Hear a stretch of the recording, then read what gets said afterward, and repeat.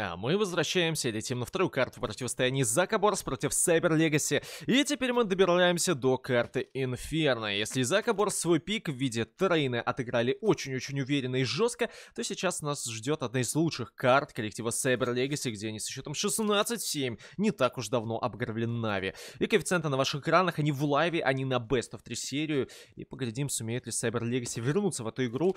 И этот кэф, возможно, в таком случае на них упадет. Пока что план выйти на базу базу где Авис неплохо собирает информацию, есть у него Джейн и пушится уже спина, и тут своеобразный бутербродик для Сайбер Легаси, и надо одну сторону прорвать для того, чтобы их просто не убили с двух сразу. Сиюху находит первый минус, и тут, конечно, начинается вакханалия коллектива Сайбер Легаси. На базу Б они сразу не вышли, назад пойти тоже не сумели, в итоге Джейна накоцали, и на этом спасибо. Для Ависа здесь задача просто найти один минус, этого уже, скорее всего, будет достаточно. Он неплохо живет, однако его все-таки допушили. Джейну лучше в перестрелке не влезать, он край, крайне каленый, ну и Фостер пока что в соло принимает банан. Один минус уже имеется. Если еще даст фраг, это, возможно, будет выигранный раунд. Да ладно, Фостер! Его все-таки наказывают, но, тем не менее, запушили Джейна. И ситуация 2 на 2. Экзос и teammate пытаются устранить bomb carry, но получается пока что уничтожить Клакса. Последним здесь остается Гловинг, и с ним тоже польский состав справляется. Ну, жестко, жестко, конечно, с обеих сторон. Cyber Legacy, мне кажется, могли разыграть чуть лучше в плане fast а выхода. То есть, как только они побежали на банан, а, поняли, что их обходят с двух сторон, тут вот нужен щелчок пальцем и моментальное решение от капитана, типа пушим Б. Вот моментально прям. И maybe у них было бы на это больше времени. Джейна того же бы допушили а, до конца заранее, соответственно, и все могло получиться чуть получше. Но anyway, бомба стояла, а посему форс от Cyber Legacy однозначно будет. Ну и Зак и Борс, конечно, тоже закупаются. В беде их экономика не оставила. Есть тут две ППшки, два кольта и фламос также имеется. Ну и, соответственно, набор диффуз китов на карте Инферно тоже важны, потому что ретейки, в особенности на Б-плент, иногда получаются очень и очень тяжелыми. А ведь пока что тайминг зажигательную.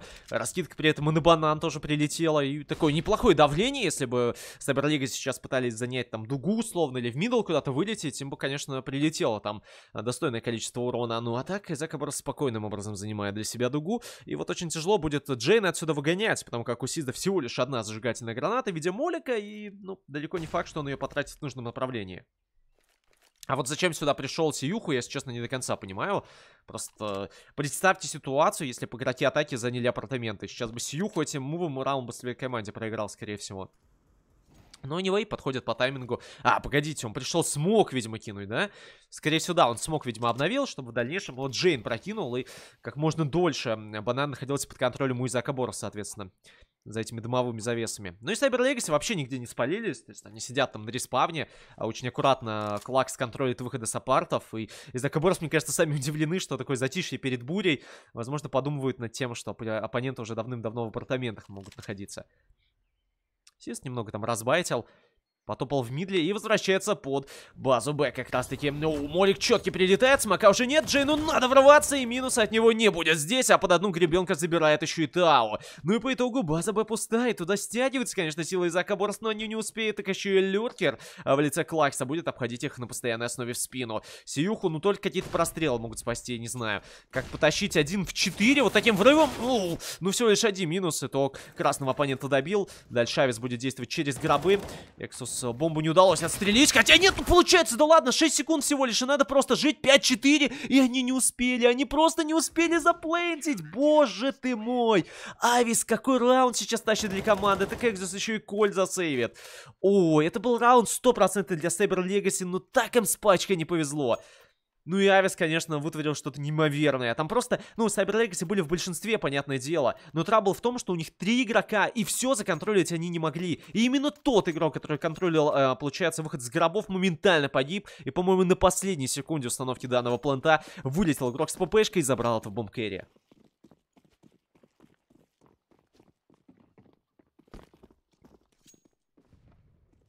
Пробили пока что Тау. Естественно, форс от Cyber Legacy. Попытка ворваться в мидл от Гловинга, но при этом вот так вот быстро, без флешек. Не знаю. Ну, скорее всего, это кол от тиммейтов, а там Cyber Legacy. Ну, вернее, Izako Boars, скорее всего, сейчас прокинули гранаты на банан. Возможно, Cyber подумали такие, о, ну, наверное, на точке Б на раннем тайминге три оппонента. Победи-ка ты, э, захвати на халяву ребра. Но тут интересный пик от Джейна. Моментально он контрится. А Тао-то остался битый, его тоже забирают. И второй раунд подряд база Б падает вообще без каких-либо разменов. Ну, то есть настолько легко точку, мне кажется, еще ни одна команда не закрывала, как это делает Cyber Legacy против Азака Борос. По итогу идеальная позиция здесь у Клакса, пройти ее будет очень тяжело. Ну и Кабаны в этом раунде понимают, что как бы да, до этого э, ретейк 3 в 5 практически мы вывезли, но сейчас ситуация абсолютно иная, и лучше отправиться на сейф.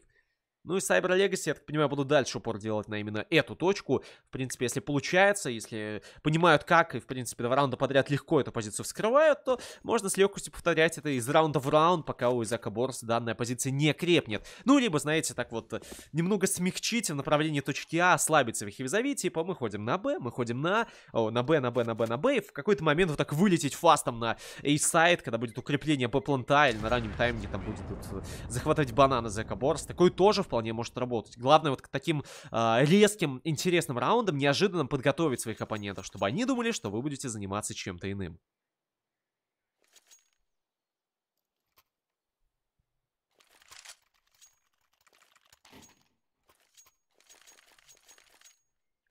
Я не думаю, друг, что тебя в чате стоит гореть из-за того, что команда, на которую ты поставил, проигрывает, потому как э, Потому как я не думаю, что они чем-то тебе обязаны. Да, Cyber Legacy, возможно, сегодня не лучшую игру отыгрывают, но пока что я не вижу ни одного повода на Инферно их как-то, в общем-то, дизморалить, оскорблять или считать плохой командой. На трейне, ну, да, действительно, на трейне они играли плохо. Это констатация факта, что кабаны были там в разы сильнее. На Инферно тут вообще ничего не известно, come on. Все только-только начинается. Ты чего? Тут тильтить пока рано.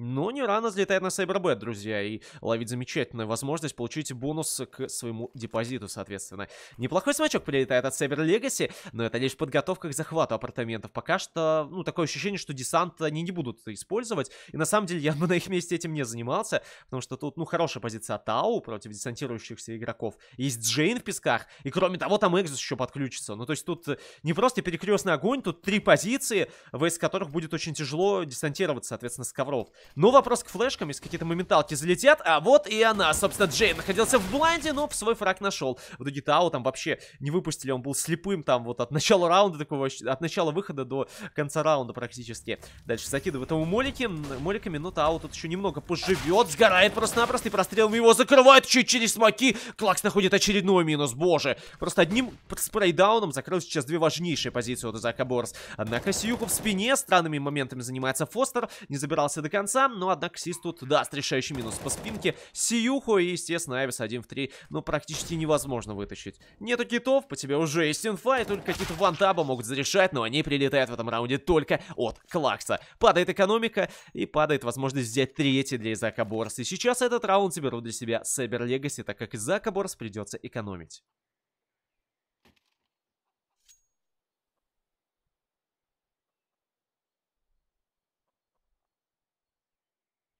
Обидно для, за Cyber Legacy просто. Ну, это нормально, как бы.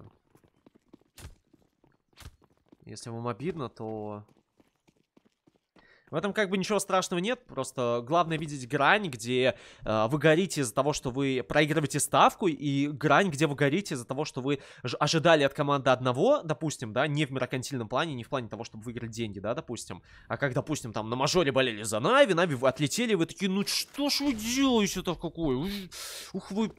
Ух, вот с такой злостью, да, от того, что вы ожидали каких-то результатов и не получили их. Это как бы одно дело, и это даже в какой-то момент мило и, наверное, достойно, знаете, гореть э, из-за плохих результатов. Это показатель того, что вам не наплевать на команду, вы хотите видеть от нее какие-то достойные результаты. Но при этом, когда люди сгорают из-за ставок, я как бы прекрасно их понимаю, это абсолютно нормальное чувство, но просто это, знаете, то же самое, что сгореть с тиммейтов. Это неотъемлемая часть любой киберспортивной дисциплины, с одной стороны, но если вы не видите грань вот между тем, когда вы поставили и сами совершили ошибку, и между тем, когда команда а вам руинит ставку, ну, сори, это дело такое. То тем временем легкий раунд для Cyber Legacy, да, они потеряли одного игрока, но это был Сист, которого выпустили чисто как разведчика, знаете, то есть чисто так вот запустили вперед, типа, иди проверь, есть там укрепление или нет. Под флешки он чекнул, что тут очень много игроков защиты, и моментально команда и основное звено с бомбой вышла и поставила бомбу, и благодаря смерти Сизда, как ни странно, раунд был выиграл. Но при этом при всем подарили Exus Кольт, который в следующем раунде явно ему пригодится.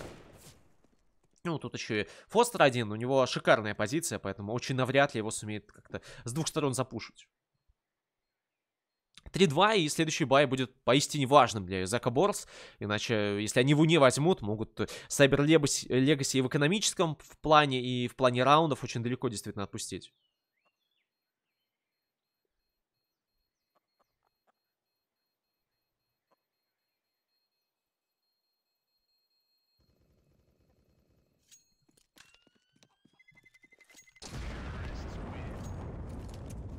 Вот, замечательные слова. Если обидно, значит по-настоящему болеете. Главное заставку не за ставку болеть, а за команду. Вот это, это, конечно, круто, и меня на самом деле радует реально иногда зрители, которые приходят и такие, я чисто за команду поболеть, или там, я пришел за этим игроком понаблюдать. Это клево, потому что, ну, э, ощущение, что на каждой трансляции, знаете, 90% аудитории это, это, именно, это именно люди, которые э, делают ставки. И ставки это ни в коем случае неплохо, но, э, опять же, они иногда вот очень так влияют э, отрицательно на конкретно какое-то восприятие матча, знаете, когда люди начинают гореть и так далее. Я просто, ну, для себя принял такое решение, что я иногда ставлю метр времени, но эта ставка такая, знаете, для подкрепления интереса. То есть я, допустим, хочу посмотреть матч, и такой думаю, ну, ну, ну, а, ну, ну что я там не видел, типа. Ну, хочется вроде, знаете, понаблюдать за кем-то. Это такой, ладно, закину чуть-чуть денег, чтобы было а поинтереснее, ну, и э, забавно на самом деле, когда это действительно переходит в какое-то плотное сражение, там, знаете, э, карта 14-14, и ты понимаешь, что ты вроде поставил немного, но сердечко все равно бьется, и тебе ну, максимально интересно и приятно будет победить.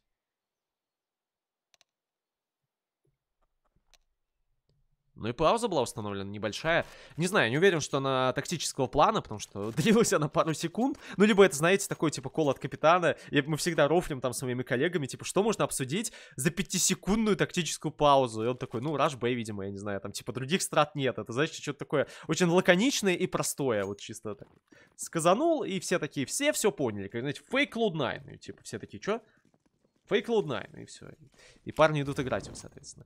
Врав на банан нас ожидает от Saber Legacy. Туда же летят гранаты от сил защиты. И на самом деле, вот, э, ну, кроме шуток, если польская команда была бы здесь втроем и не действовала бы немного опрометчиво, чуть позже объясню почему, они бы, скорее всего, нашли минус. Тау через дымы. Ой-ой-ой-ой-ой-ой. Да ладно, боже, это что, Оман, что ли, из Валоранта? Вы посмотрите. Он просто заныкался в дымовой завесе, и его пока что никто не чекнул. Лол, Тау. Если он просто может отсидеться, ему не надо даже Сизда забирать, но его заметил все-таки Сиз через ванвей смог. И вновь база Б падает просто за доли секунды. Здесь остается один Экзос, и очень навряд ли такую толпу СНГ игроков он сумеет принять. Однако забрался сейчас за цемент, обежал, его не было слышно из-за Молика. И сейчас Сиз справится еще и с ним. Уже три полтел в исполнении Дениса. И получается, что в Соляру практически раунд закрывает. Авис, конечно, убежит на сейф, но далеко не факт, что получится это сделать, так как Гловинг уже выходит на охоту в режиме Хантера. Эм, ну, что-то база Б слишком легко падает. У меня претензия здесь к Закаборос небольшая. Почему вы захватываете банан и вообще агрессируете, будучи вдвоем? Почему не, не отправить трех игроков на дугу? Ну, это же дефолт. То есть вдвоем Uh, вот смотрите, в чем фишка. Сейчас они прокинули HE в самом начале раунда, а Клаксу снесли там минус 50 хп практически. Если бы это было 2-3 хаешки, если бы туда прилетели молики, Клакс бы погиб, и просто так Cyber Legacy бы не зашли на дугу, и Сист просто так был 3 минуса не дал. То есть Izako Boars надо как бы включать сейчас вот это вот э, понимание, как захватывать банан, и не делать мега агрессивных действий, когда вы там вдвоем находитесь. Потому что зачастую в таком случае у атаки будет мега преимущество. И всякие, и даже в лучшем случае, если вы каким-то чудом разменяетесь 2 в 2, это все равно будет в пользу для тест-сайта. Вот и все. Тут единственная возможность для Изака Борс это пойти вдвоем агрессировать на банан, и чтобы Cyber Legacy вообще про эту точку забили на нее. Вот в таком случае, да, это работать может. В остальном вы, скорее всего, проиграете перестрелки, как в этом раунде, и произойдет поражение. Ну да ладно, посмотрим на эк-раунд, который еще у нас не стрелял, кстати говоря, в рамках э, этого матчапа на эти раунды, по-моему, не... да, не залетали еще на первой карте. И вот, возможно, карта Инферно, которая в какое-то время была такой картой камбэка за счет вот взятых... Э, за счет того, что мапа благоволит всяким там пистолетам, много откровенно близких, дуэльных дистанций. И действительно здесь даже какие-то диглы могут себя найти. Укрепление пока что на ребрах, соответственно. И, по-моему, Izako Boars немного не везет. И, на самом деле, тут Авис, может, какой-нибудь килл попытается найти. Но Гловинг его контролит. Oh my! Не заметил голову, получается, Авис. В итоге сам получил пониже. Ну Izako Boars ничего не, оста не остается, как только угадывать, условно. То есть Экзус смещается под байплент, и если выход будет сюда, он настреляет с гробов, э, даст пару тычек, и там тиммейт из диглов тоже покажет весьма неплохую приемку. Но Izako Boars не везет, и Cyber Legacy идут на противоположную точку, где всего лишь один Сиюху. Будет ли минус? Оп, заметил. Прифайры полетели. Эу, хорошо было, да ладно, уф. Если бы еще одну голову снес, ситуация 3 в 3, и, ну, на экономику просто это могло положительно повлиять. Ну, а так, калаш утилизирует, и, естественно, раунд для Сайбер Легаси под номером 5, ну, естественно, на табло, не заставит себя долго ждать. И за Каборс остается только на экзит фраги какие-либо надеяться.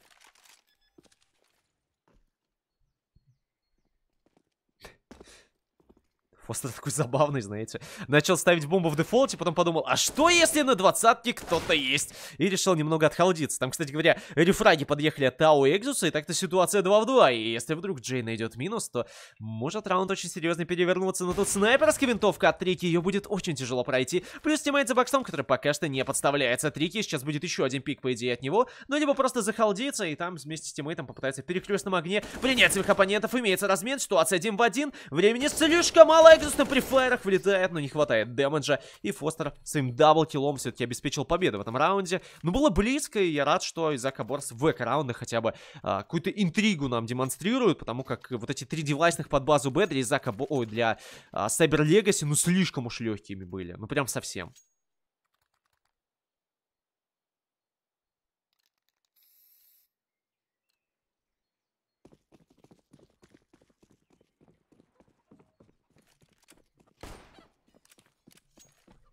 В эко-раунде удалось убить четырех оппонентов. Посмотрим, что получится у Изака Борс в девайсном. Опять же, вот, мега-агрессии нет. Видите, сейчас они играют более пассивно, потому как если бы они пошли без респы пикать, опять же, банан, ну, это было бы совсем прям э, такой себе. И, наверное, если действительно Изака Борс сейчас бы побежали и погибли бы на дуге, я бы сказал, что все, тут уже остальные, остальные раунды можно и не смотреть особо. Но в итоге даже это не помогает. Экзуса префайром здесь вычисляет Сис. Да что с ним такое? Как же он просто как консервную банку вскрывает сейчас. Б-план Сис, еще и флешка шикарно разлетает залетает, и база Б падает за 2 секунды, но Тао на перетяжке дает важнейшие фраги, поджим мидла, правда, особо импакта не приносят. На точке остался Авис в Солянова, но при этом при всем возможно, если оппоненты будут спешить, чем они занимаются, он фраги свои может найти. Клакс, допустим, уже погиб, слишком мало хп, надо прятаться за смоком и попытаться немного пожить, но позиции слишком очевидные. Тао 1 vs 2. Хаешка полетела. Смачком попытается, возможно, отзонить оппонентов и как-либо пробраться в сайт, но это очень и очень опрометчивое решение, потому что там залетают прострелы. Ну, не то чтобы опрометчивое, но скорее крайне опасное. Но Гловинг пока что чекает тюрьму. Это означает только то, что информации по 15 нет. И Тао сейчас может воспользоваться классными таймингами и пройти где-то вот в этот бутербродик и разобраться с оппонентами поодиночке. Но Тао забирается на тюрьму пока что, понимает, что один оппонент сидит, естественно, в песках, но и на него никто просто так не откроется. Попытка фейка. Трики дают дает инфу, что бомбу никто не дефает до конца, и, соответственно, Тау просто попытается засейвить свой девайс, что тоже у него не получится. А по итогу шестой раунд для Сайбер Легаси, и экономики вновь у Изака Борс нет. Если на своем пике они чувствовали себя мега комфортно, набирая огромное преимущество, и когда у оппонентов было 2, у них было 10 по раундам, сейчас все абсолютно по-другому, видно, что за карту Де Инферно Сайбер Легаси стыдно, фанатам точно не будет. Стример, как тебя звать? Ну, мой никнейм Шейл, если что, вся информация по команде восклицательный знак Кастерс имеется. Лол, она сейчас удалилась. Ничего себе. Ну-ка, давайте я возобновлю ее. Там, видимо, что-то с командой Кастерс не так. Но пока что у нас в любом случае краун. Давайте я обновлю. Чтобы вся информация была у вас, собственно, в открытом доступе. Вот она, собственно, друзья, там имеется все. Да, извиняюсь, там э, мубот за клип обычно мутит. О, не мутит, а удаляет сообщения. Вот, там просто блокирует различные ссылочки, поэтому поаккуратнее с этим. Но в целом, опять же, если есть какие-то крутые клипы, друзья, можете вот опять же по команде Кастрос забегать. Там левая ссылочка на мой паблик ВК, и можете в предложку там, а, либо в личные сообщения кидать какие-то клипы. Я с удовольствием там опубликую, я не знаю, если клипчик будет крутым. Счет по картам пока что 0-1 в пользу Изака Борс. Но при такой тенденции вполне возможно, что третья карта не заставит нас долго ждать.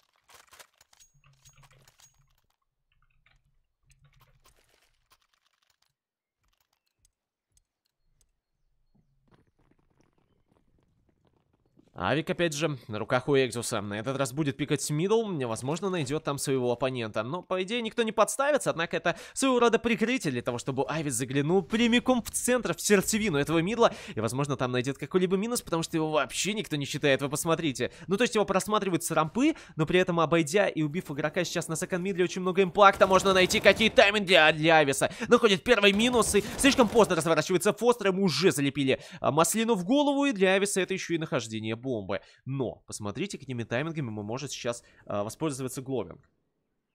Он выходит, его пока что никто не чекает, и именно в данную секунду оборачивается Эксус, находя единственный минус, после чего еще одного оппонента добирает. Третий раунд такой от Изака Борс более агрессивный, более интенсивный. Мне кажется, в таком формате они раунды действительно могут брать, потому что, ну, до этого был либо, знаете, чрезмерно недисциплинированный КС в плане агрессии, то есть вот эти раунды, когда они там на банан, да, летели вдвоем, и, ну, это такой себе, откровенно говоря.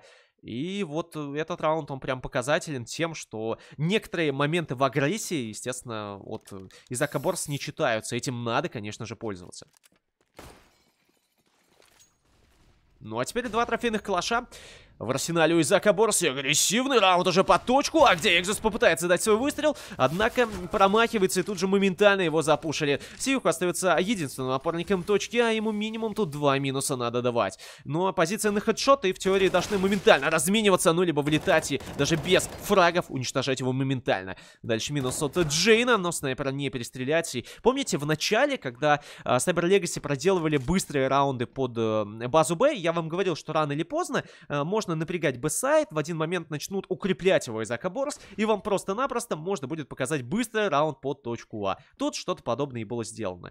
Uh, у Изака Борс э, снайпер, да, немного не сработал в плане, он не то чтобы промахнулся, это со всеми бывает, а скорее не принял комфортную позицию, то есть обычно uh, тебе надо занимать такую позиционку, чтобы с 15 дать выстрел, и в случае промаха опять же, в случае того, того, если на тебя вывалится толпа оппонентов, ты сумел бы в арку отбежать и оттуда уже настрелять, ну, один килл как минимум, либо постоянно на себя байтить. Этого сделано не было. Во-вторых, не было муликов, зажигательных гранат и так далее на, соответственно, ребра, за счет чего Cyber Legacy даже смоком не воспользовались и легко а, забежали, потушили одного опорника и, соответственно, ну, в одиночестве там единственный игрок справиться просто не сумел.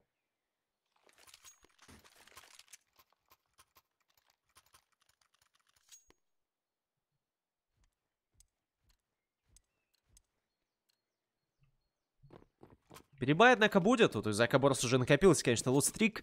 Но у Cyber Legacy накопились раунды до взятия первой половины, кстати говоря. Она уже у них под контролем. Эта восьмерочка будет сиять Возможно, очень долго, если сумеет как-то из Акабор все-таки включиться и взять какую-либо серию. Авис уже в поджиме, Клакс его ожидает, но слишком хороший угол был у Ависа, посему перестрелка и отход аккуратный назад. Но тут не только одним Ависом апартаменты будут сыты, еще и Сиюху находится рядом. И тут, конечно, шикарная реализация позиций. Один игрок выбегает, быстренько пикает, отходит назад. Байте на себя внимание, Ависа уже никто не ждал, ну, вернее, не Ависа, а Сиюху. По итогу это 4 энтрифрага, и вот так вот после э, вскрытия легких э, базы Б, Cyber Legacy на точке А, конечно, страдают, когда Изакаборс готовы к выходу, когда они комфортно себя чувствуют и понимают, где плюс-минус находится соперник, и не теряются, у них по стрельбе и по каким-то мувам агрессивным все ок. Просто такое ощущение, что конферно они не до конца готовы. Ну, осталось Фостера только допилить. В этом раунде на него глупо надеяться, именно на взятие раунда. Но, anyway, как бы тут потери uh, Cyber Legacy в плане четвертого раунда не так страшны. Они 8 уже взяли, и, в принципе, по экономике все окич, поэтому в следующем уже сумеют нормально закупиться. Ну а для Изака Борса это, конечно, приятно без потери, потому что мало ли, где-то там Cyber Legacy зацепится за девятый, вам понадобится перезакупиться, и тут они вспомнят этот раунд, где у них экономика забустилась, соответственно.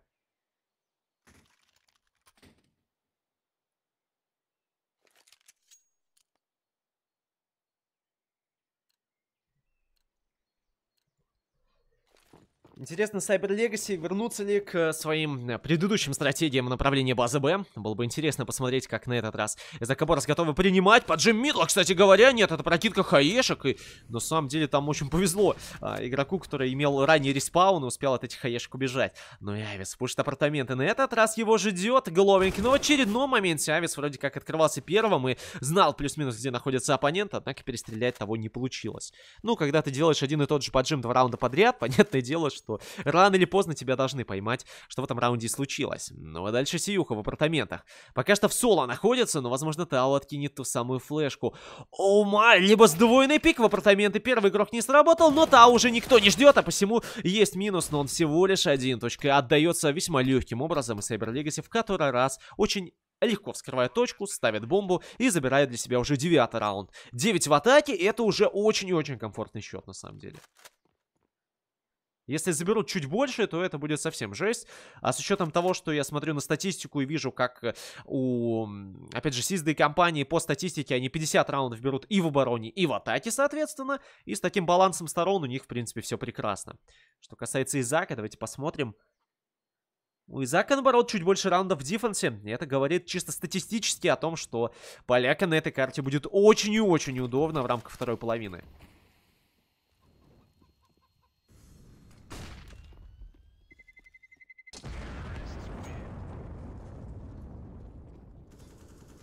С агрессией надо немного по-иному, мне кажется, действовать. Вот э, изначально, как раунд стартанул, то есть, когда они решили запушить мидл, мне показалось, что такое может получиться, потому что в предыдущем раунде к этому не были готовы Cyber Legacy, и вообще вы это всего лишь один раз показали. Но вот эти дефолтные пуши по джима апартов, они как-то уже не особо удивляют, и как бы надо что-то перестраивать, знаете, то есть там типа вы поджали два раза апартаменты, и в третий, допустим, хотите сделать то же самое, это можно оформить, но как-то немного по-иному. Оу, ху-ху! Экзос, вот это залетело так залетело сейчас. Он, по-моему, до конца приземлиться не успел. И просто-напросто, как джет, знаете, в Валоранте подпрыгнул на стрейфе и просто разнес своего оппонента. Но, опять же, агрессия вдвоем на банане. Окупится она или нет? Пока что жесткая прошивка, однако отвечают. Игроки атаки пытаются Тау также прошить через смоки. В итоге лишает своей жизни. Это будет легче. Шифрак под Джейну или нет? Ну, его добили в размен. Anyway, база Б пока что пуста. Но зайти туда э, и выиграть раунд это немного разные вещи. Потому как игроков защиты все-таки большинство. Anyway, и сюда уже подошел Сиюху, готов пикать фат флешку. Флэш от Экзуса. Ну давай, давай, давай, давай. Ну что медлить-то? А, они сыграют на бомбу, понял. Попытаются пачку выбить. Светошумовая. Полетела. Сиюху замечает игрока на единицу. Соответственно, легким образом заболевает. И Клакс после постановки плента не сделает абсолютно ничего. Все-таки Визакбор за пятый раунд цепляются. Но anyway, пока что Сабер Легаси на Инферно смотрится намного сильнее. Ну и надо Изака хотя бы шестой раунд здесь взять.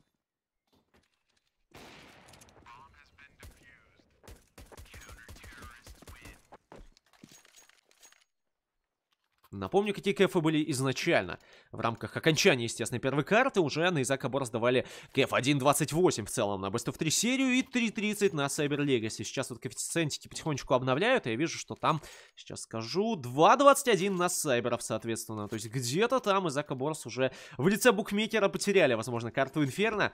И в моих глазах, конечно, тоже они тут смотрятся послабее, но кто знает, возможно, атака мега жесткая будет у кабанов, естественно. Ну и по шмидлам максимально жесткий от Cyber Legacy, аж пятером они сюда заглядывают выглядывают. Экзус там пытается пикнуть мид. Проходят оппоненты через него. Вы посмотрите, что происходит. Но опорника сбривает. Экзус, будучи с пистолета, найдет все-таки минус. Но, тем не менее, тиммейты по точке А уже пали. И сейчас Экзусу надо просто отойти аккуратно на second middle. И, естественно, Фостер сюда тиммейтов звать не будет. Он понимает, что стянул на себя массу внимания. Важный килл нашел. И самое время тому самому основному звену выйти на бэплент, где абсолютно никого нет. Так еще и Фостер здесь в неожиданном тайминге может обойти кого-либо в спину.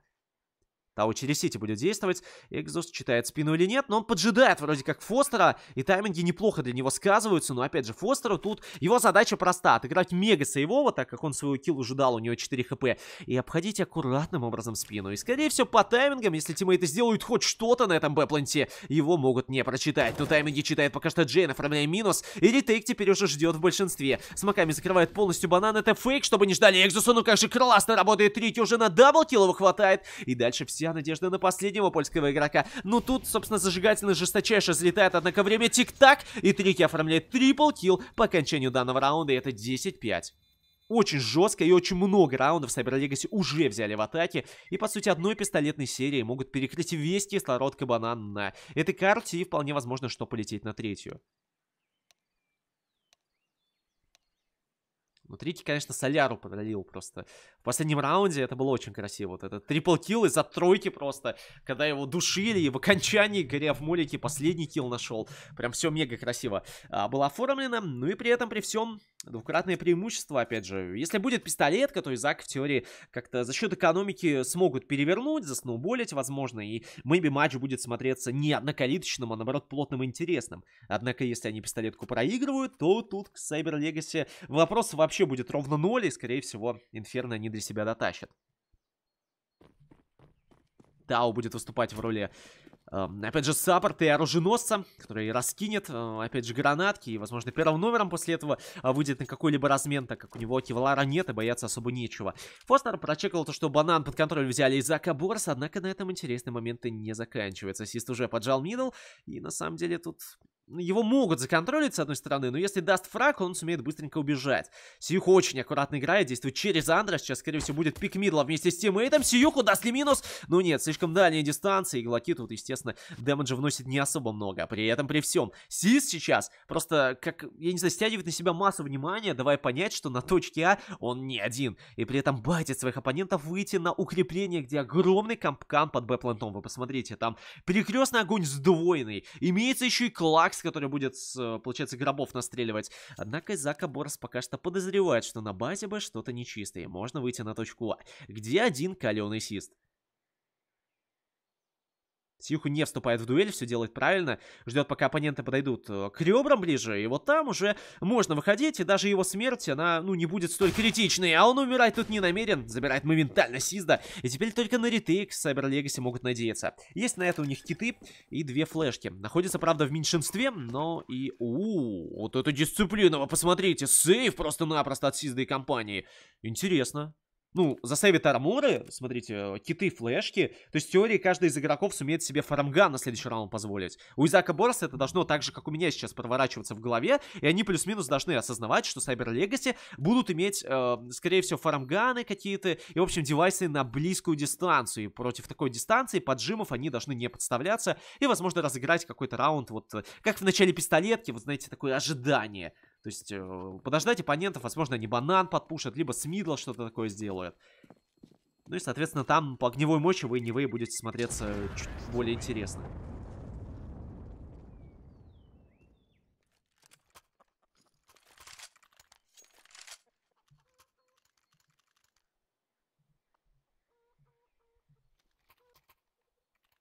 Третий скаут, вот то, о чем я говорил, э, просто фишка в том, что если вы не получаете damage а на пистолетке, и у вас есть первый armor, вы можете за 350 долларов закупить шлем. То есть, соответственно, докупить farm gun. И вот смотрите, теперь Гловинг боеспособен, Фостер тоже. Сист плюс Клакс, ну плюс-минус э, готовы тоже поджимать. Вот то, о чем я говорил. Izako Boars должны ждать. Это дефолтный move, ну абсолютно. Даже я это прочитал, я далеко не про игрок. Сейчас пуш э, происходит мидла. И Izako Boars разминулись с оппонентами, lol. Они просто прошли, вы посмотрите. Одни побежали на север, другие на восток. В итоге Джейн нашел минус. И этим вот переворотом и переселением народов сейчас, на самом деле, если заберут Клакса, можно раунд будет выигрывать. Ну, Авис идет на контактную дистанцию, где где против Фарамгана немного не выводят, размена от Экзуса не будет, и я не знаю, ну кабаны ужасный раунд разыгрывают сейчас, ну потому что как можно этого не ожидать, ну серьезно. Ну да ладно, Джейм плюс Сьюху остались вдвоем. 2 vs 3, имея калаши на руках, в принципе, можно воевать более чем. Правда, автоматы Калашникова где-то они в мидле, скорее всего, еще потеряли. И сейчас Фостер, если заберет какой-нибудь калаш, то будет более чем боеспособен. Ну и на точке Б не все так просто, тут стягивается сюда. А, Трики, соответственно, есть у него тиммейт в виде Клакса, и в теории с двойным пиком, гробы плюс Сити, они могут минус найти, но Клакс пока что и в соло хватает, забирает калаш, и дальше будет тычка, естественно, от Клакса, оставил он Сиюху максимально битым.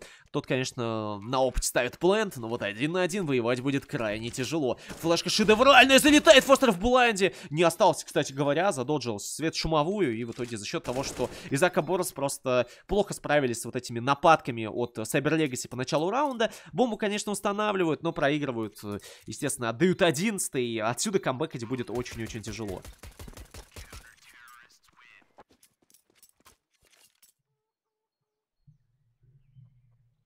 Ну, либо эко катать, я не знаю. И сейчас форсить, как бы, дело такое. Проигрываете фор, скорее всего, выходите на 6-13, и там уже Cyber Legacy дожмут карту Инферно, я уверен в этом. А, но при этом экономить и выходить на двукратное преимущество для соперника тоже не особо хочется. Посему появляется Галил, Экзусу даже на калаш там хватило. Я так понимаю, тиммейты дропнули Авис, что докупит Галил тоже ко всему этому и парочку гранат дополнительных. Простит, конечно, они тут проигрывают Cyber Legacy, но при этом по энтри фрагам также влетел Сис под флешку тиммейта, разобрался уже с Тау моментально. Благо, тут еще Сиюху может как-то законтролить second middle. И нападки на банан тоже работают. Правда, на один фраг и тут же размен моментальный от Izako прилетает. Есть понимание у Джейна, что всего лишь один опорник. Но опять же, тут преимущество по гранатам. Сюда уже сместился саппорт.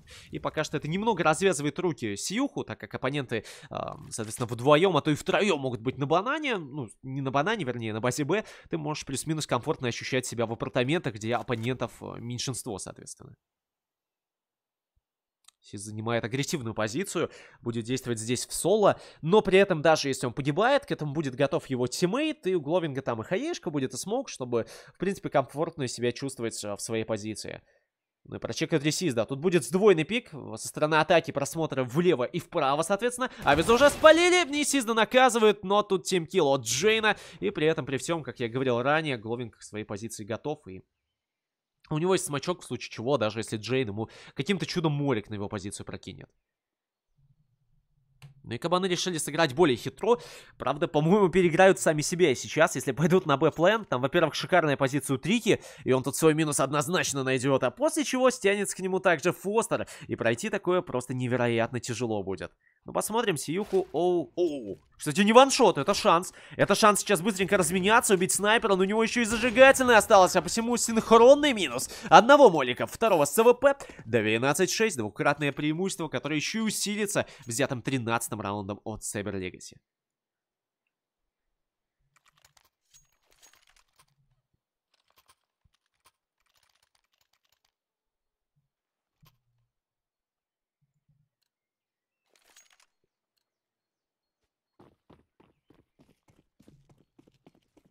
Так, ну-ка запоминаем тех, тех, кто в чат сейчас пишут 6.14. Запом запомним их никнеймы и посмотрим, э, действительно, каковы ваши прогнозы. Но на самом деле такое в теории может быть более чем.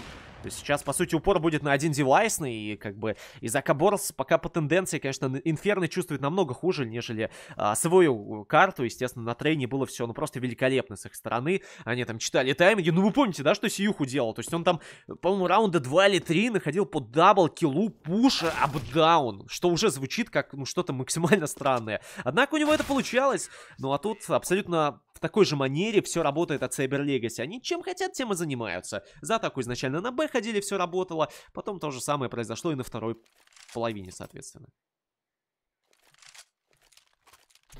Так, появляются калаши без авика, но я думаю, Izako Boars он сильно не нужен в первом девайсном. Трики, в принципе, ну, у них есть понимание, что у Трики АВП имеется. Трики такой достаточно дефолтный снайпер зачастую на Инферно, то есть из того, что я видел, он очень редко пушит, пикает банан, он в основном вот на точке А отыгрывает, там даже если нет респы, вот так вот помогает тиммейту, он, соответственно, агрессирует, но тут мем, конечно, лютый. Вот это под одну гребенку сейчас было через дымы, конечно. Там тимкил получился от Экзуса, он добил тиммейта, при этом убил еще и безави своего. Вы посмотрите, это что за рофл? Они там, знаете, типа, это как будто вы деретесь кем-то на улице, что я осуждаю, действительно. Приходит третий чувак и просто вас э, толкает ногой одного, и вы в итоге оба падаете в грязь, как эффектом домино, знаете. Вот тут такая же история получилась, однако Авис падает, и опять же для Зака Борс это меньшинство. Однако на базе Б всего один игрок, и в теории, запушив его, а, установив план, ситуация 2 на 2, вы будете уже иметь преимущество некое в виде времени, которое будет играть на вас, в виде гранат, э, которыми вы сможете закрываться, а, естественно, еще какие-то, э, не секунды даже, а десятки десятки секунд против своих оппонентов. Тао по таймингу хочет... Я вот так часто играю, на самом деле, знаете, когда начинается какой-то выход, я такой, погодите, погодите, сейчас убью чела в миде. И вот э, зачастую я, правда, никого не убиваю, и мой тиммейт точно так же погибает в этот момент. Ну, Экзусы здесь без проблем заберут, Сайберлигаси уже абсолютно ничего не боятся, там Фостер одного убил, второго пошел пушить, и все-таки наши прогнозисты в чате были правы. Это действительно 14-6, экономика, опять же, была сломлена, и пока что шансов у Изака Борс на хотя бы микро-камбэк на Инферно ну, слишком-слишком мало. Они даже до плента толком добраться не успевают. Когда Cyber Legacy, в свою очередь, вообще проблем с этим не испытывали. И первые раунды с захватом Б-плента, они были настолько легкими, непринужденными, что ну прям совсем изи. Оу oh май. Неплохой фраг был оформлен по Тао. В дальнейшем, конечно, попытаются репикнуть все это дело, возможно, секонд мидла, но размен тут навряд ли найдут. На банане три игрока. Ну, вот то, о чем я говорил. То есть, понимаете, смотрите, сколько хаешек, смотрите, сколько гранат, и как круто Джейн получает по лицу. Потому что они втроем э, зажимают бананы. Я не понимаю, почему Изака Бор сделали это вдвоице. И у них это зачастую не получается. То есть, ладно бы я говорил, как вы можете это делать, и Изака Борс бы такие вопреки захватывали бананы, просто выставляли меня как непонимающего человека. Но тут со стороны, в принципе, видно, что и, в принципе, команды нам показывают, и давным-давно известно, что втроем в защите банан захватывать намного проще. И когда двоица агрессируют, куда-то идет пушить против полноценного девайсного, ну, это дело такое. Тут Фостер на приемке тем временем одного щелкнул, по второму случайно отдачей э, занесло, так скажем. 15 раунд они захватили, и обратная история, как и на Детрейне. Было очень много маппоинтов, которые Cyber Legacy просто никак не могли разыграть. Тут что то же самое за стороны Изака Борс, и вот этот смайлик, он, конечно, прям показывает, насколько тяжко Izako Boars на этой мапе.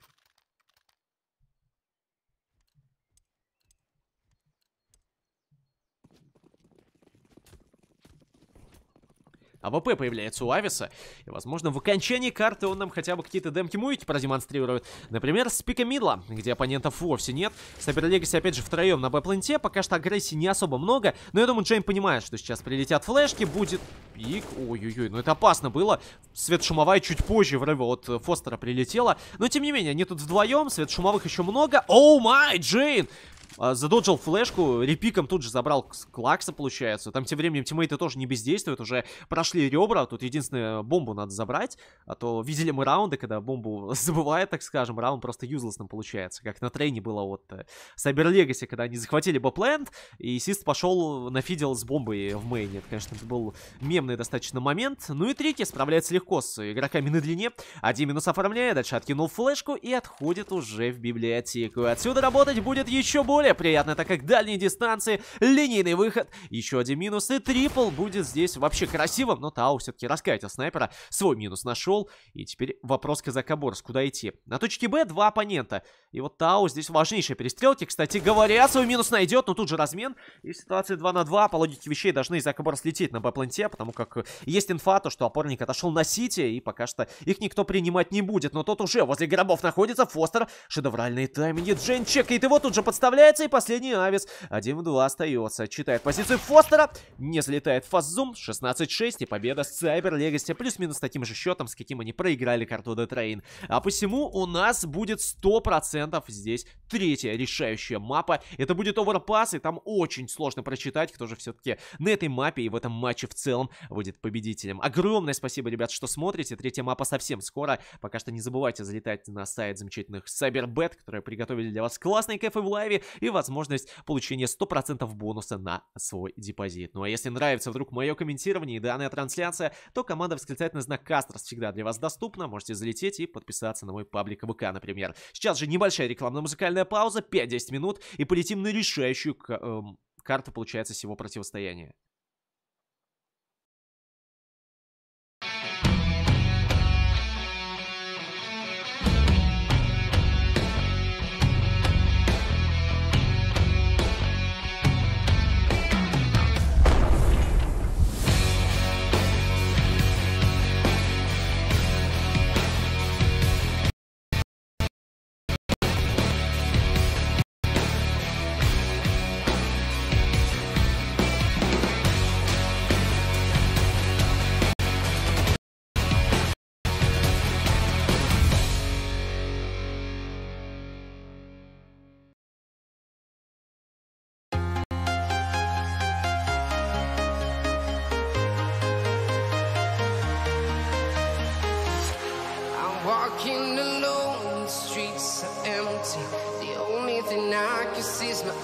silhouette. Eh.